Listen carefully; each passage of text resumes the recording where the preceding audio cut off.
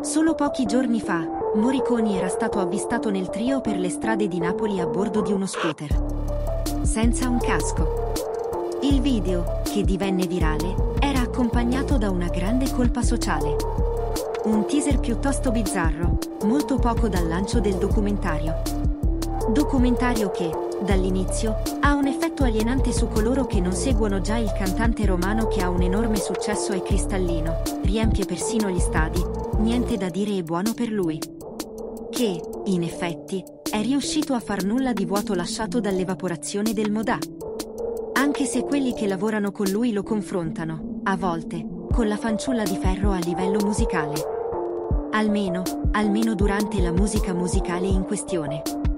Allo stesso tempo, cosa, dal 2018 ad oggi è riuscito a creare con i suoi fan sembra essere un microcosmo esclusivo l'impressione è che nessun'anima fuori dalle due parti in questione conosca le sue canzoni. Quando ci troviamo di fronte a un docufilm santino di questo tipo, indipendentemente dal gusto personale riguardante l'artista raccontato, siamo generalmente colpiti da varie epifanie.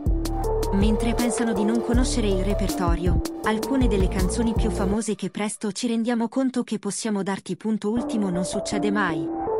E si trova sulla sua strada per vedere interi fasi intare all'unisono e tra le canzoni di lacrime che suonano, con orecchie estranee e non pubblicate. Mistero d'acqua. Sicuramente meno misterioso, l'antipatia epidermica che è un tratto distintivo della personalità dell'ultimo. È buono, come detto, quanto il nostro non fa nulla per nasconderlo.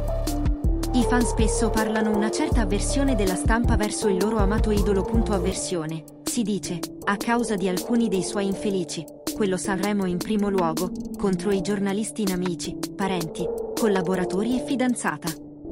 Molto caricato quando sul palco, per il resto del tempo, un sorriso un favore di una macchina fotografica, una storia senza quel tono sufficienza caratteristico. Nella pandemia, come tutti gli altri, si annoiava appunto al punto che il manager gli affittò una villa extra lusso con una vista a pianoforte della piscina.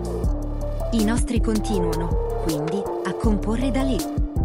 Con un disprezzo invariato, tuttavia per me è una grande sofferenza non sapere quando io tornerò per esibirmi.